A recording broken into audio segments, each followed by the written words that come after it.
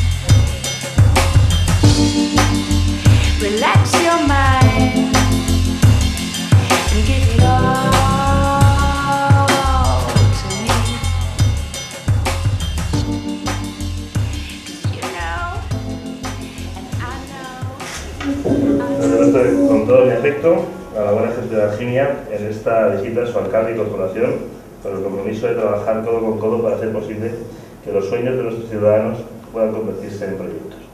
Con mi compromiso personal, institucional y político, con mi buen amigo y cal- y alcalde Rafa, nuestro alcalde, no cantante, con mi buen amigo alcalde Rafa, y mi cariño y aprecio a este maravilloso rincón de la Sierra de Espada. Arginia 2022.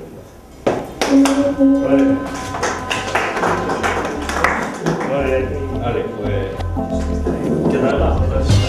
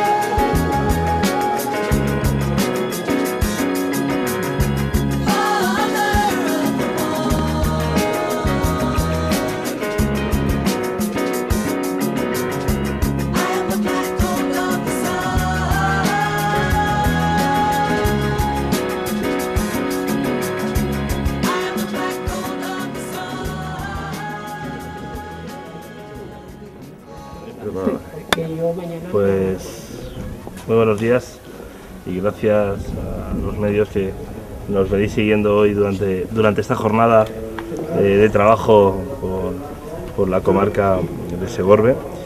Eh, creo que hoy estamos dando una buena muestra de lo que la Diputación puede hacer por, por ayudar al territorio.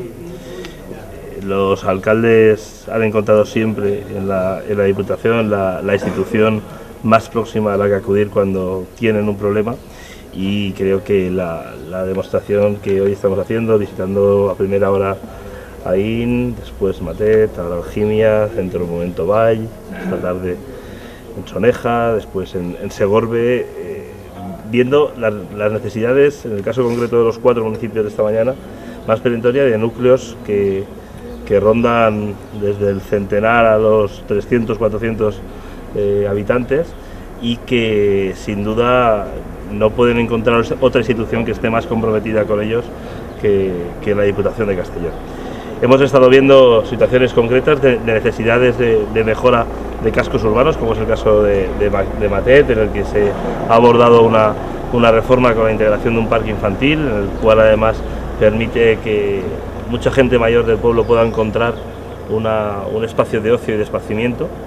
Y en el caso de, de Algimia y de, Bay, un compromiso claro con uno de los pilares fundamentales que sustentan nuestro mundo rural y de los cuales la Diputación se, siente absolutamente comprometida y es la defensa y la conservación del, del patrimonio histórico, especialmente el patrimonio histórico religioso.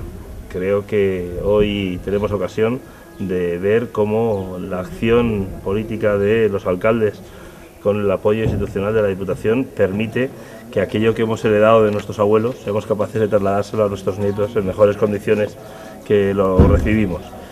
Se ha detectado un problema eh, en la estructura de madera de, de la, de la iglesia de Algimia y el alcalde nos lo transmite y de forma inmediata respondemos sí diciendo que el compromiso es, es inminente e inmediato y que vamos a actuar de forma contundente para evitar que el tema vaya a mayores y que, y que podamos tener problemas estructurales más serios, problemas estructurales que, sí que se han producido en el caso de, de Bay y para los cuales también vamos a encontrar una solución eh, generando un proceso de monitorización de todos los movimientos que la estructura está produciendo y a partir de ahí tomando las decisiones oportunas eh, de la mano de la Universidad Politécnica de Valencia para poder eh, consolidar estructuralmente ese espacio religioso en el, en el pueblo. Entendemos que en muchas ocasiones la, tarea de la Diputación está solapándose con competencias de unos y de otros, de ayuntamientos, de comunidades o incluso del propio obispado, pero también entendemos que lo que le preocupa a un alcalde es lo que nos preocupa a nosotros y nuestro, nuestra agenda diaria viene marcada por la preocupación de los ayuntamientos. Y evidentemente la conservación del patrimonio es una de las cuestiones que más preocupa a nuestros, a nuestros alcaldes y entiendo que también es de las que debe guiar nuestro quehacer diario. Yo quiero especialmente aprovechar hoy para agradecer a toda la gente que en todos los rincones de esta provincia, como es el caso de Algimia de los pueblos que hoy hemos visitado, trabaja día a día por los demás eh, sin esperar otra recompensa que sentirse útil a su pueblo.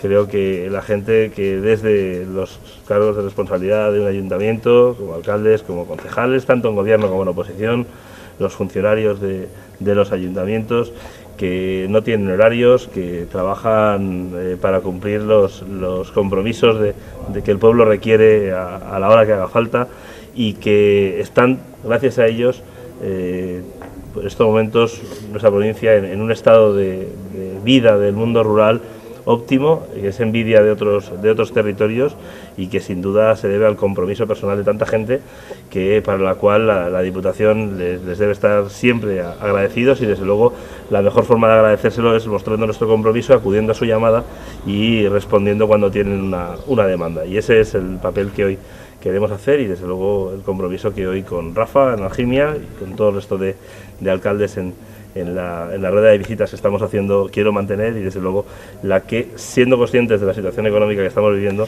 intentaremos mantener a lo largo de todo este, de todo este mandato.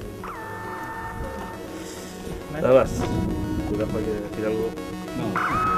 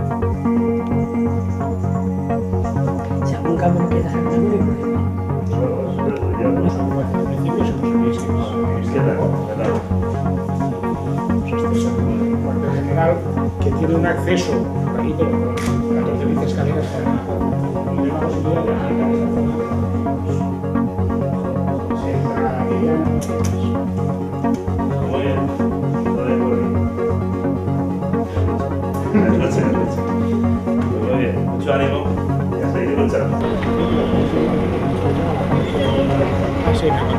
Vale. Vale. Bien. Vale. ¿Qué tal? Muy bien. Hacemos de...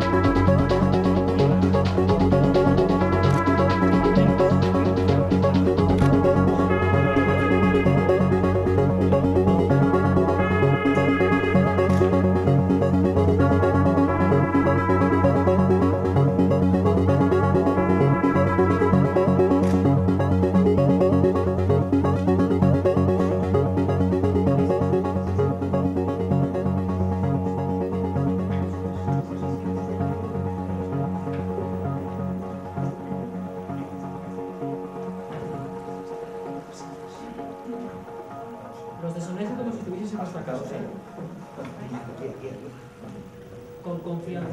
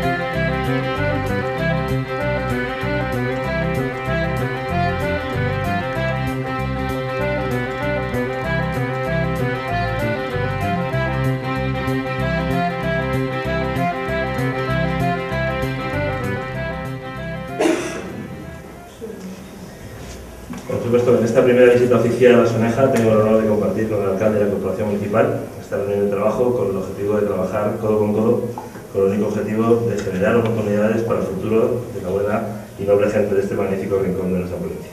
Con todo el efecto. Bueno, pues, en nombre del Ayuntamiento, le doy la bienvenida al presidente. Esta es la primera oportunidad que tenemos de saludarle en Soneja desde que tomó posesión y a los dos vicepresidentes también, pues eh. Y bueno, vamos a tener una conversación y hablar de un proyecto que creo que es importante para, para nuestro municipio. Es una inversión muy fuerte y necesaria para Soneja y bueno, luego el presidente pues hará los comentarios oportunos. Por nuestra parte, agradecer por la, la disposición que tiene la, la Diputación para llevar adelante este proyecto y bueno, pues eh, las gracias de, de parte de todo el pueblo de. Muy bien, alcalde. Muchas gracias por tus palabras. Eh, creo que estamos todos sensibilizados con la dificultad de- del momento que estamos viviendo. Eh, estamos sin duda ante, el reto de, intentar salvar un, momento económico muy complicado para, para nuestro país y en general para todo Europa, pero especialmente para todo lo que más cerca nos pilla. Y es un momento en el que las administraciones tenemos serias dificultades para poder asumir eh, un programa de inversiones potente. Yo creo que hay que ser capaces de priorizar de forma muy clara, o al menos de forma más contundente que lo habíamos hecho hasta ahora, que es lo realmente básico y fundamental a la hora de prestar el servicio a los ciudadanos y qué es lo que puede tener un, un tiempo de espera. La dificultad del momento no nos tiene que hacer renunciar a, a ninguno de los proyectos ambiciosos que para cada uno de nuestros pueblos queremos. Lo único que nos obliga es a pensar que a lo mejor lo que pretendíamos que estuviese hecho en dos o tres años, pues tiene que pasar a estar hecho en cinco o seis años. ¿no? Pero, como decía antes, hay que saber qué proyectos pueden irse a, a una fase temporal posterior y cuáles hay, hay suficientes elementos objetivos como para determinar que, que la urgencia hace necesaria su intervención. Y ese es el caso del proyecto que hoy venimos aquí a presentar. Posiblemente sea el proyecto de mayor envergadura en cuanto a inversión de obra pública en materia de depuración de aguas que haga la Diputación, de Castellón a lo largo de este mandato, sin ninguna duda. Entendíamos que era estrictamente necesario abordar este, este problema, un problema que estaba originando una afección al ayuntamiento, una afección al territorio, una afección al paisaje, una afección al entorno de, de Soneja y un problema que en definitiva afectándole a Soneja, afectándole a ayuntamiento, afectaba a la provincia y afectaba a la, a la Diputación, por tanto no creo que admita ninguna duda de la necesidad de, de abordarlo y por tanto de que la, depuradora de, de Soneja sea, sea una realidad cuanto antes. La semana que viene vamos a aprobar el proyecto en, la Junta de Gobierno de la Diputación y con toda seguridad, si los plazos no ocurre nada anormal, en, a principios de septiembre deberíamos tener la, obra en marcha para un plazo de 6-7 meses, es decir, antes de estas épocas del año que viene, estar en condiciones ya de ser capaz de, de depurar el 100% del agua que salga de, de Soneja y así pues evitarnos pues, problemas de molestias de, de olores, de denuncias de contaminación y de, todo lo que hoy estáis, estáis pasando. Al final, apostar por todos los temas que tengan que ver con el agua es apostar por, por dar oportunidades de futuro, no solo para los residentes, sino también para, para ese sector industrial que en Soneja tiene, tiene una fuerza muy importante y que desde luego desde la óptica de la provincia ni queremos ni podemos eh, renunciar a él, sino todo lo contrario, lo que queremos es ponerle las bases para que pueda consolidarse y por qué no eh, cuando el escenario cambie pues incluso crecer.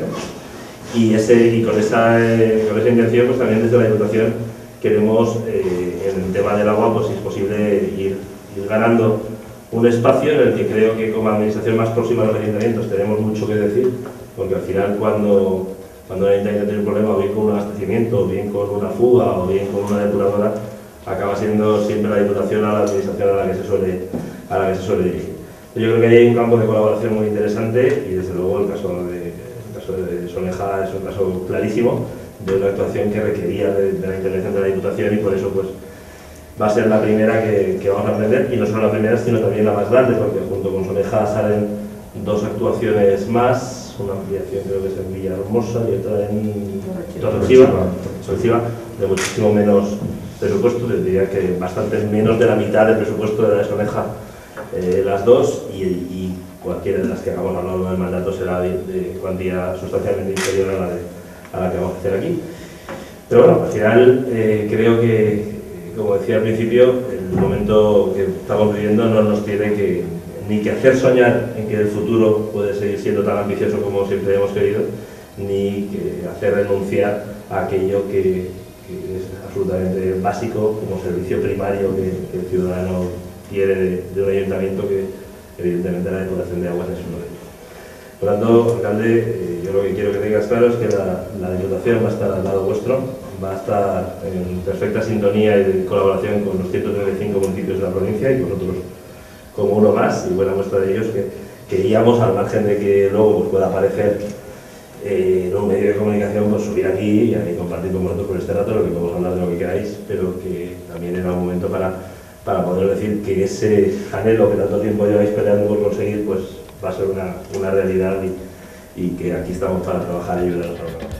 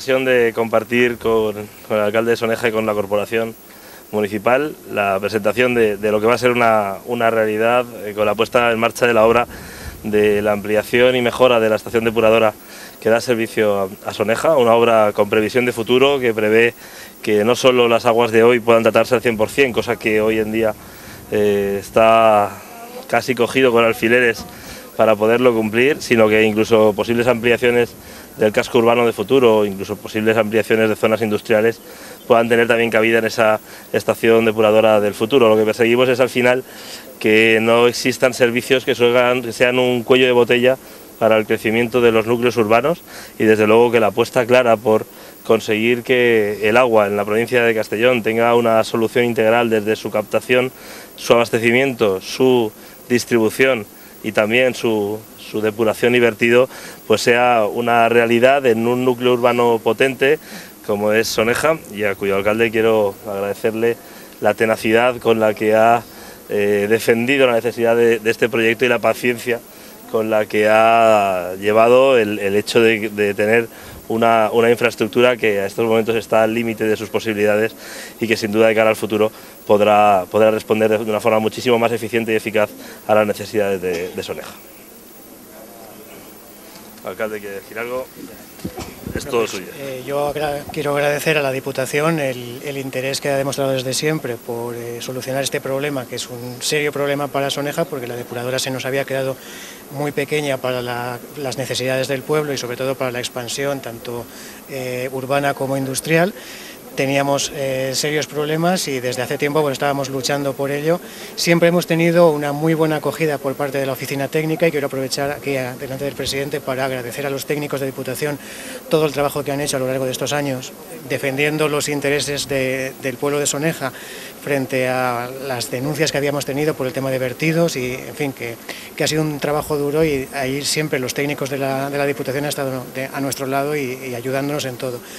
Para Soneja es un, proyecto muy importante. Yo soy consciente de que la envergadura, eh, porque estamos hablando de, una inversión de casi un millón de euros, para la Diputación supone un esfuerzo muy importante y por eso creo que debemos eh, ser conscientes de, ello y agradecérselo a la, Diputación porque en estos, tiempos que, estamos eh, sufriendo, una inversión así no se improvisa de, de cualquier manera. Por tanto, pues por Soneja es, creo que se siente agradecida y debo, expresarlo ante, ante todo el mundo. Eh, muchas gracias.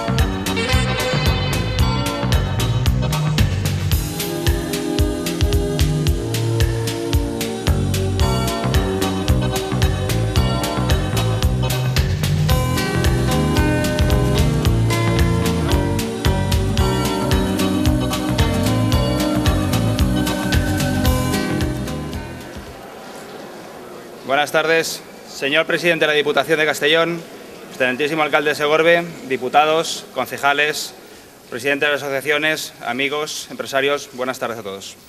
Hoy realizamos la presentación de la que probablemente será la mayor y mejor infraestructura turística del interior de la Comunidad Valenciana, el Hotel Martín el Humano. Vamos a, a presentar hoy la conclusión de las obras y del equipamiento de este edificio que va a albergar un hotel de cuatro estrellas de categoría superior. La apertura va a ser en las próximas semanas, a partir del día 27, paulatinamente, empezaremos toda la actividad, tanto de gastronómica como de alojamiento, como de eventos.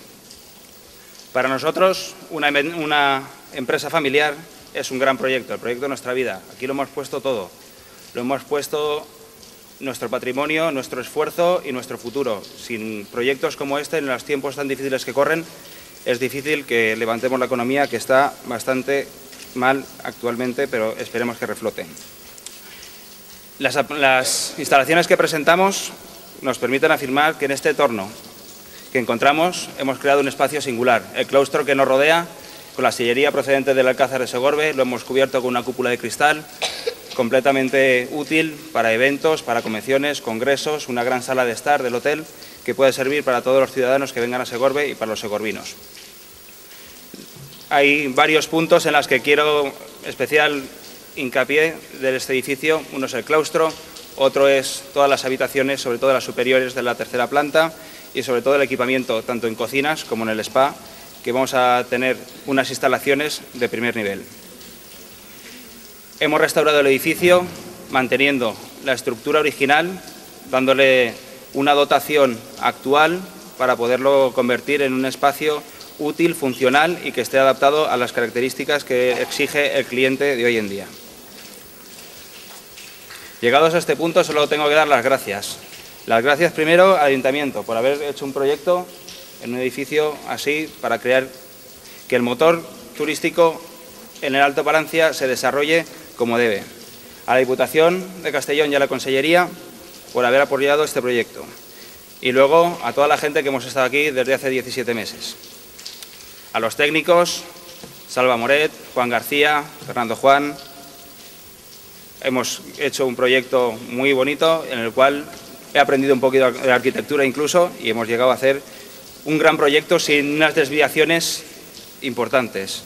Luego a toda la constructora, a todo el equipo de la constructora, MR Torres Cámara, empresa madre, ha llevado la construcción en un tiempo récord y tal. Y especial el nombramiento al arquitecto municipal que ha coordinado, José Cifres, ha coordinado todo el proyecto. A Bankia y al Instituto Valenciano de Finanzas por haber creído que este proyecto es viable y rentable y apoyarnos en este, en este proyecto a largo plazo en un edificio municipal que la, fue un poco complicado la ejecución.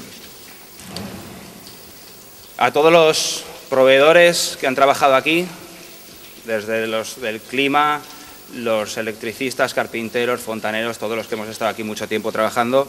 Al final hemos llegado, hemos llegado en plazo y forma y no ha habido grandes desviaciones sobre ello.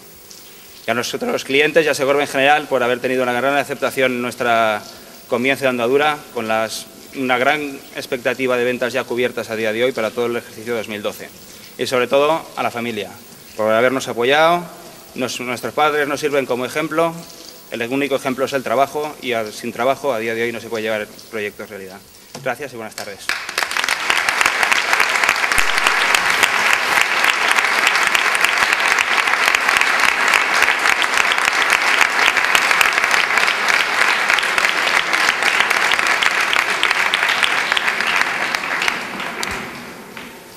Bien, buenas tardes.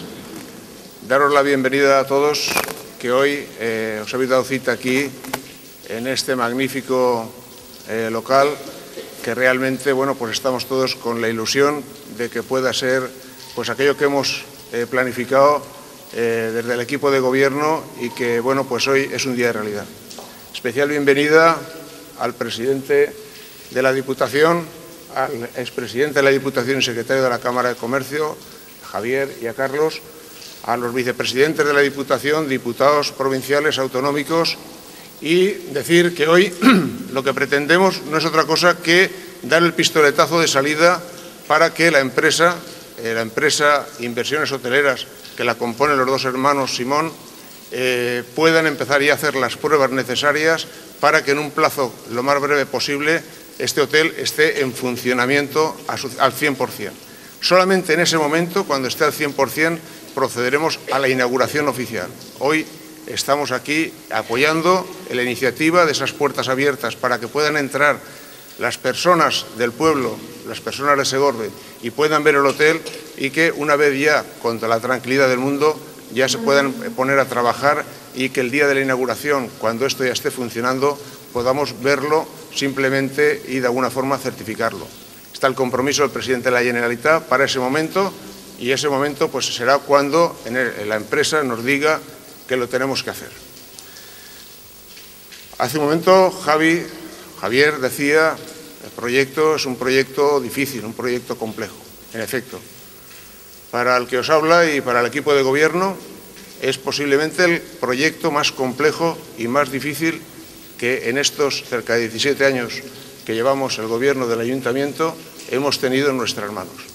Ha sido un proyecto dificilísimo en todos los aspectos. Primero por su rehabilitación.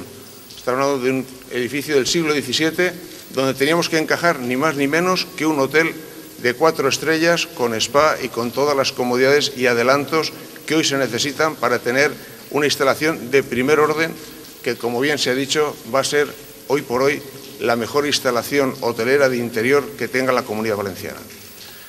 Por otro lado, lógicamente, dotarlo de todos los medios necesarios para que tenga aquí la comodidad y la satisfacción las personas que nos visiten y que se alojen. Esto no es una cosa sencilla dentro de este edificio. Y fundamentalmente la financiación. La financiación que ha sido el caballo de batalla más complejo que hemos tenido. Este tiene un proyecto que supera los 5 millones de euros. Esos 5 millones de euros el ayuntamiento obviamente no los tenía para poder llevar adelante este ansiado, esta ansiada instalación y tuvimos que recurrir, como siempre, a tocar puertas para ver qué puertas se abrían y nos concedían ese dinero. Anteriormente a hacer el proyecto hicimos consultas con diferentes hoteleros para que nos dijeran qué es lo necesario, qué sería lo mínimo por lo cual ellos serían capaces de llevarlo adelante. Nos dijeron que como mínimo más de dos millones y medio eh, por cuenta y riesgo del hotelero sería difícil el poder asumir, con lo cual teníamos que buscar dos millones y medio que nos faltaban o algo más.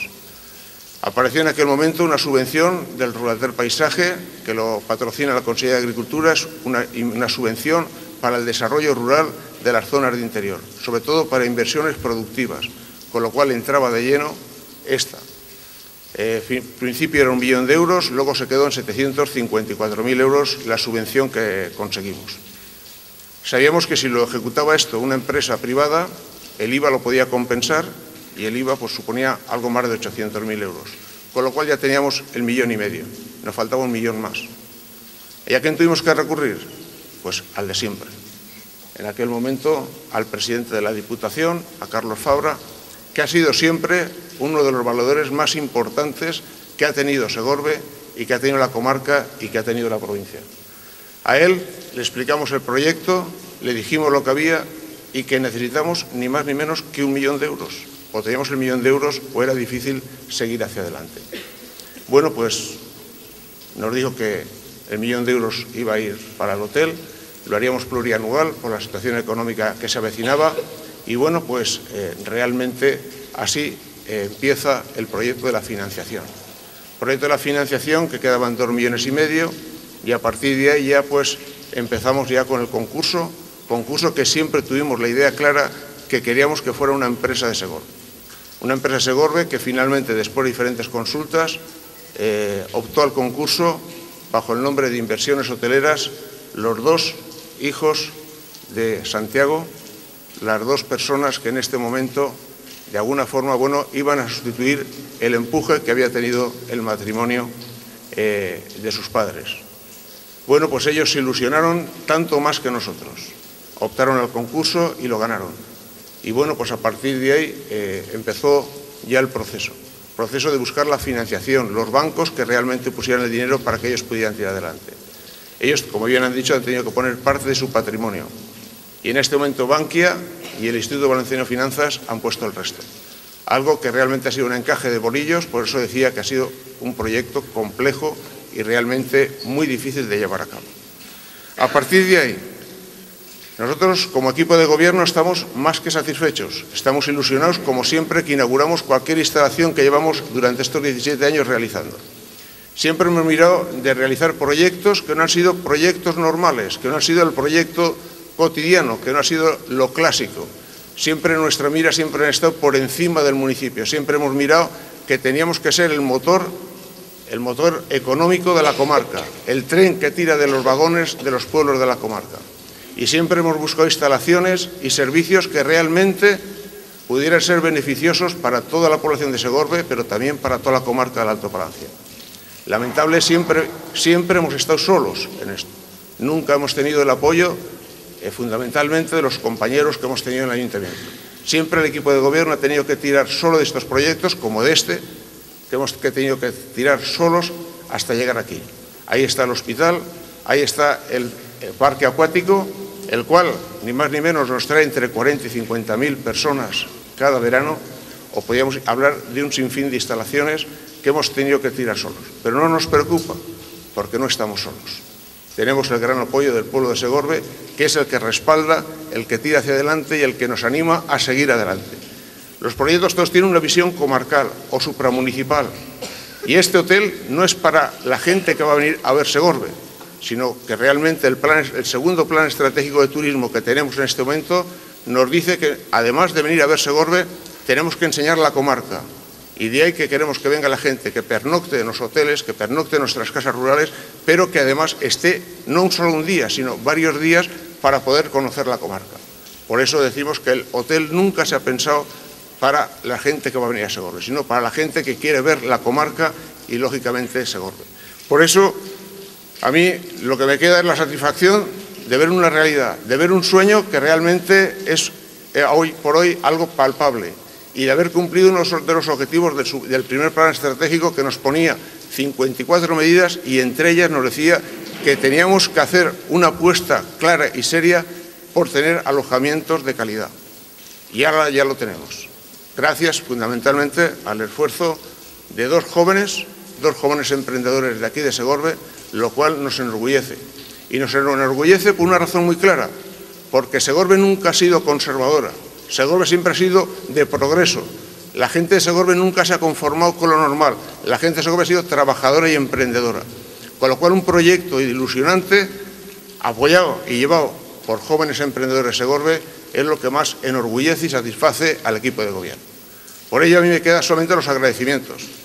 El agradecimiento fundamentalmente al presidente de la Diputación, a Javier Moliner, porque realmente en ningún momento visto la situación económica en la que tenemos y donde han aparecido recortes para todo el mundo, el hotel de Segorbe no ha tenido un solo recorte. Se está cumpliendo escrupulosamente con lo pactado. Y por lo tanto, Javier, mi reconocimiento, mi agradecimiento, como siempre.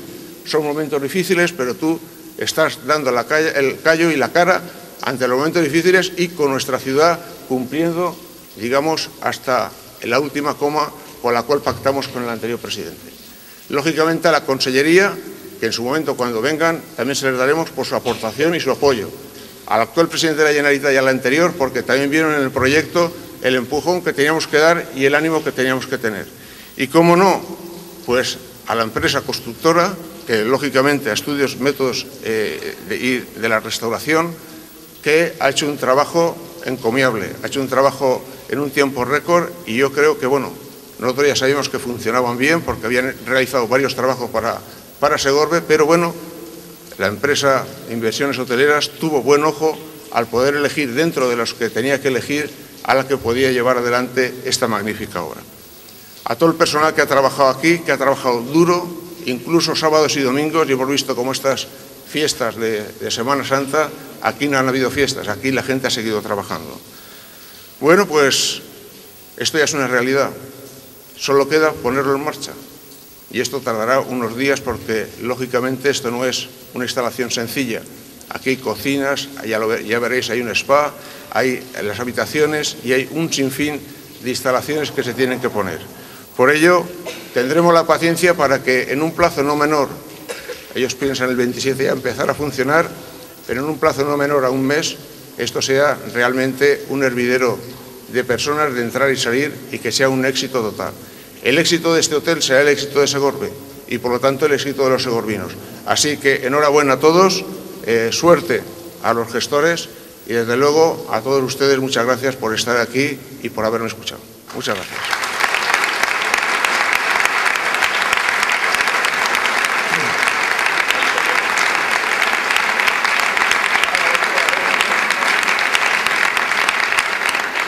Tiene a continuación la palabra para clausurar este acto el ilustrísimo señor presidente de la Diputación Provincial, Javier Moliner.